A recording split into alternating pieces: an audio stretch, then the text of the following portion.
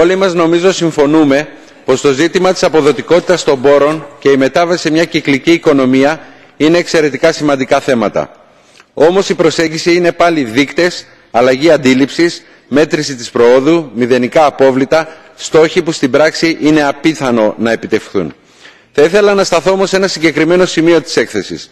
Αναφέρεται πως πρέπει να τεθούν οι μικρές και μεσαίες επιχειρήσεις στο επίκεντρο της προσπάθειας για την αποδοτική χρήση των πόρων. Αυτές όμως οι επιχειρήσεις είναι που καταστρέφονται από τις πολιτικές της Ένωσης.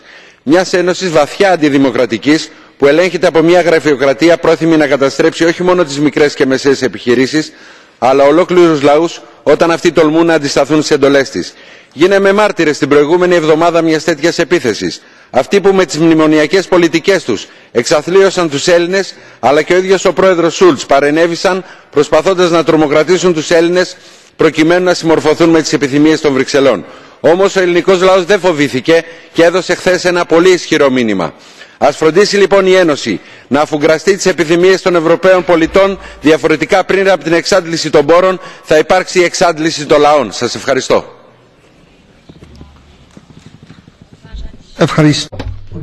Ευχαριστώ λέει και ο Πρόεδρος.